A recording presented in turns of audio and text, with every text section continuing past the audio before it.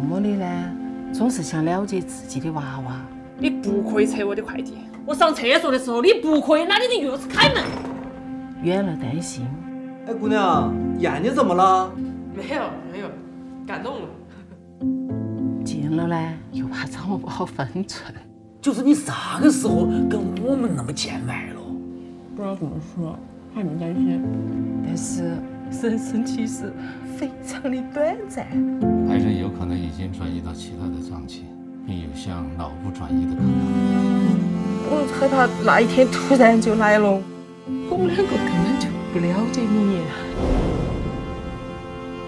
那我们是不是应该多交流啊？是噻。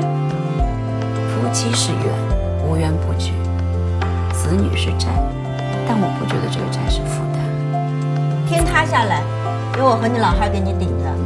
我让你们了，说啥子呢？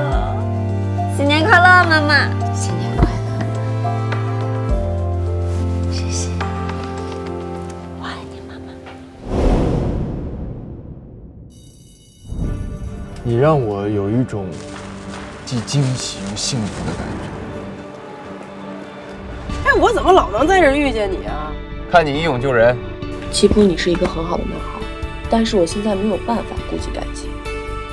每次说了一句真心话，后面都要加一句演的不错，我不想加了。我会用你觉得合适的方式和你相处。一个人走在黑夜中，我很心痛。没关系，我可以等。你的事情你自己做主，只要你高兴就好。三二一，上车！